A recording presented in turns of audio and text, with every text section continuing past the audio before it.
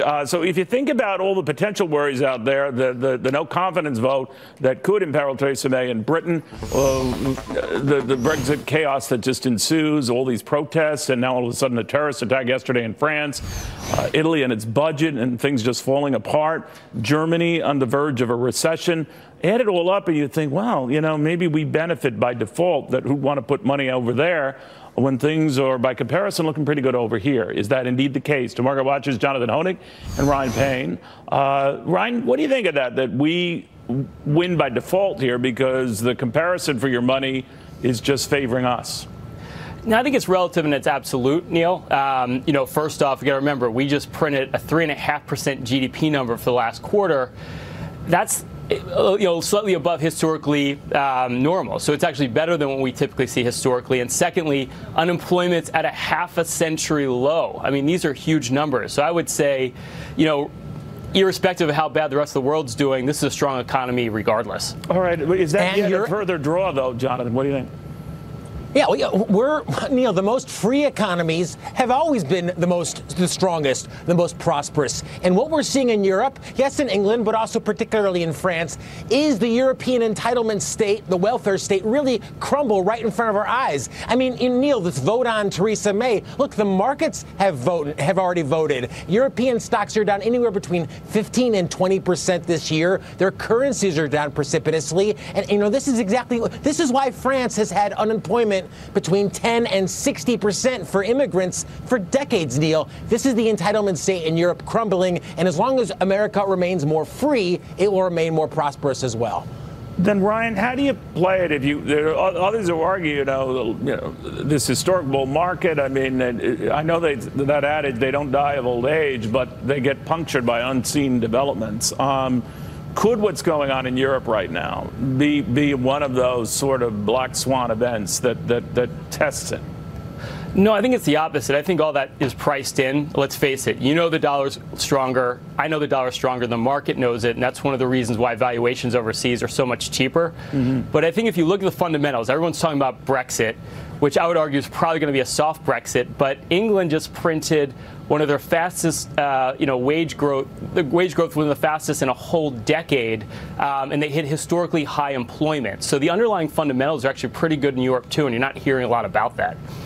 So uh, you're looking at this, Jonathan. What would you do if you could, you know, put money anywhere? I hate to restrict it to countries, but I mean, how would you play it?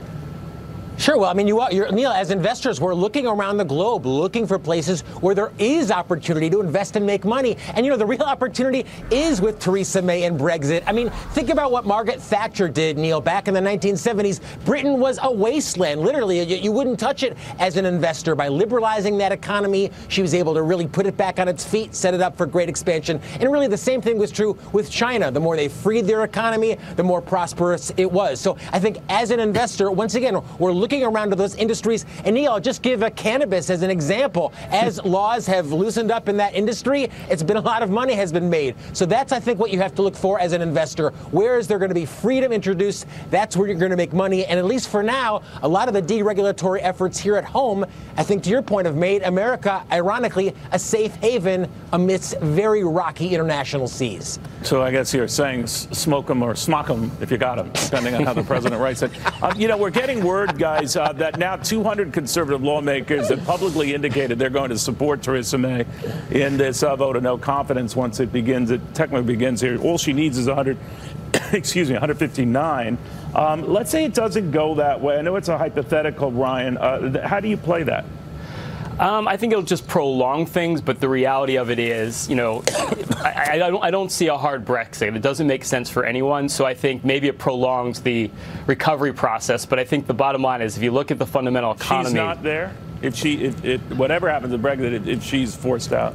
Exactly, because again, you know, the underlying fundamentals are strong. Again, you're seeing good employment numbers because the economy is actually very strong there, you know, above and beyond the headlines. And I think that as a buyer, that's what you want to look at because valuations are much cheaper abroad than they are here, and the upside potential is very good, Neil.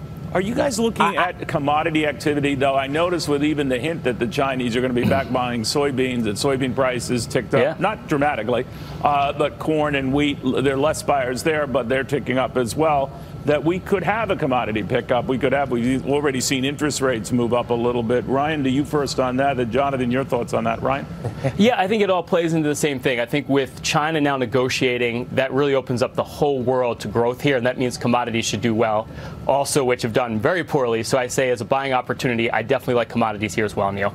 Uh, Johnny, and, and Neil, I was Uh, briefly, I mean, I was delighted, to see, Neil, to see you actually qu- quoting soybean and wheat prices. in fact, everyday investors can participate in these. You always want to do your own due diligence, but there are ETFs now, Neil, like WHEA, w, WEAT or corn or SOYB. These all track these individual markets. And I think even for everyday investors, if you already have Apple, if you already have the S&P, adding some commodities, I think can provide some diversification and also some good upside return right now.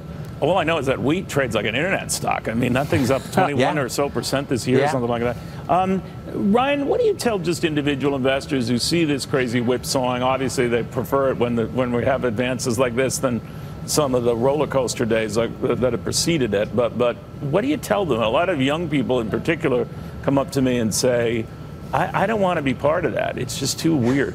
What do you what do you tell them? You know, especially for young people, I think, look, you're in the wealth creation stage. That means you're putting money into your 401k, you're building wealth right now. You want a down market to buy. You know, prices globally are on sale right now, Neil. In fact, 90% of assets around the world in dollar terms are in a negative territory. It's the first time in 100 years. So you got the whole world on sale, and if you're in the wealth creation stage, you've got like the best opportunity ever to be adding to the global markets, not just the U.S. And I think that's the smart play here when you're thinking about what's going to do over the next five to 10 years. If you've got to be if you have that long time, allocated. if you have that long time horizon, Neil, I, I have to say I'll take the other side of that trade. I fear and I feel as we're probably in the type of environment, let's say from 2000 to 2010, where maybe if even if markets don't plummet, we remain in a trading range for quite some time. I don't know. When you get to I be my age, guys, uh, long term is lunch tomorrow. Uh, but I want to thank you both. Uh, have a wonderful holiday. Very good having the both of you. Uh,